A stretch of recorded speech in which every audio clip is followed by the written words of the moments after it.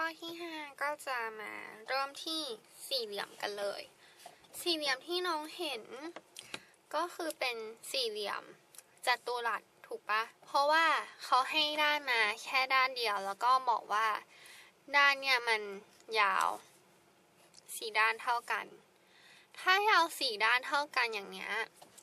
อีกคุณสมบัติหนึ่งของสี่เหลี่ยมจัตุรัสก็คือมุมทุกมุมจะเป็น มุมฉากนั่นเอง มันก็เหมือนกับสามเหลี่ยม ด้านเท่าก็คือถ้าเป็นสามเหลี่ยมด้านเท่าอะ ด้านทุกด้านยาวเท่ากัน แล้วก็มุมทุกมุมยาว 60 องศา เท่ากัน ใช่ไหม แต่อันนี้มันจะเป็นสี่เหลี่ยมจัตุรัส ซึ่งพื้นที่ของสี่เหลี่ยมจัตุรัส ก็คือ ด้าน ยกกำลังสองถ้าเขาให้ด้านมาถูกปะอะคำว่าด้านยกกำลังสองเราก็จะเอาห้าเพราะว่าห้าคือความยาวของด้านใช่ปะมายกกำลังสองอย่างนี้ ก็จะได้คำตอบก็คือ 25 ตารางเซนติเมตร นะก็ดูที่คุณสมบัติของสี่เหลี่ยมจัตุรัสใช่ไหมอ่า พอได้คุณสมบัติแล้ว เราก็ลองเอามาใส่สูตรดู ก็จะได้คำตอบก็คือ 25เซนติเมตรมาจากสูตรก็คือด้านยกกำลังสองนั่นเอง แต่ถ้าเขาไม่ได้ให้เป็นด้านมา เขาให้เป็นเส้นทแยงมุมมา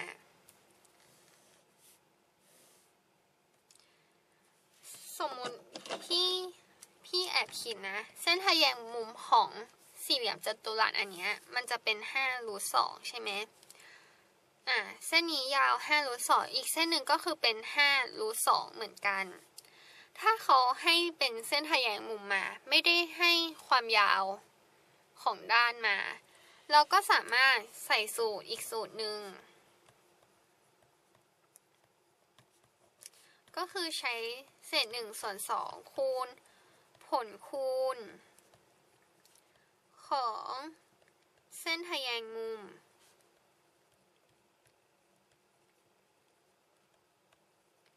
ก็จะได้ว่าเศษหนึ่งส่วนสองคูณห้ารูทสองคูณห้ารูทสอง คำตอบก็จะได้เป็นห้ารูทสองคูณห้ารูทสองอันนี้คูณกันจะได้ห้าสิบใช่ปะเศษหนึ่งส่วนสองคูณห้าสิบก็คูณกันได้เป็นยี่สิบห้าตารางเซนติเมตร เท่ากัน พี่รู้ได้ไงว่ามันเป็น5รูทสองอ่า เคยแอบบอกไปแล้วว่ามันจะมีสามเหลี่ยม ทฤษฎีบทของสามเหลี่ยมปีทากรัสใช่ไหมถ้าเป็นสามเหลี่ยมมุมฉาก A B C อย่างนี้ ด้านประกอบของสามเหลี่ยมมุมฉาก ด้านประกอบของมุมฉากอะจะ เป็น a กำลังสองบวก b กำลังสองจะเท่ากับด้านตรงข้ามของมุมฉากยกกำลังสองก็คือ c กำลังสองนั่นเอง อันนี้ถ้าพี่มองแค่ครึ่งเดียว มันก็เป็นสามเหลี่ยมมุมฉากถูกปะเพราะว่ามุมนี้เป็นมุมฉากห้ายกกำลังสองบวกห้ายกกำลังสองก็เป็นยี่สิบห้าบวกยี่สิบห้าเท่ากับ c ก็คือเป็นส่วนของเส้น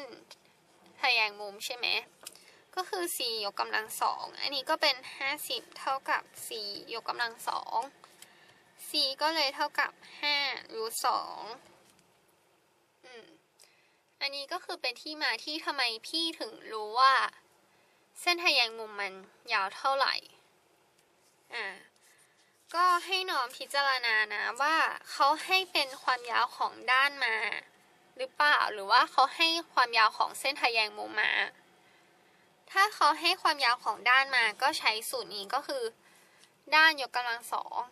ถ้าเขาให้ความยาวของเส้นทะแยงมุมมา เราก็ใช้เศษหนึ่งส่วนสองคูณผลคูณของเส้นทะแยงมุม ย้ำว่าจะต้องเป็นผลคูณนะก็จะได้คำตอบ อันนี้ก็คร่าวๆสำหรับสี่เหลี่ยมจัตุรัสนะคะ อร่อยจังเลย